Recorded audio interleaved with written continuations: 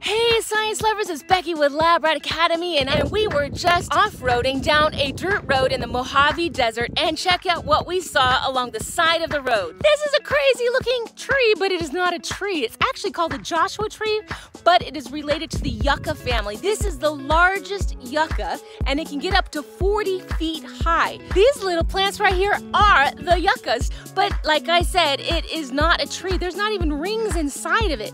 These trees have no rings, so normally the only way that you can find out how old one of these trees is is by how tall it is. Now, like I said, this is part of the yucca family, and the only way these guys can continue to reproduce is something called a yucca moth. These yucca moths lay their eggs inside of the seeds, and those larvae of those moths will eat the seeds. And so that will also pollinate these trees all the way across the Mojave Desert. These plants are considered to be monocots, which means their root system doesn't go very deep.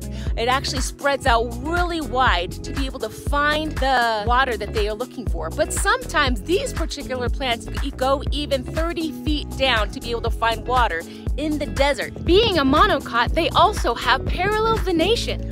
Wow, science is so amazing. I hope you guys have a beautiful day. God bless. Bye bye.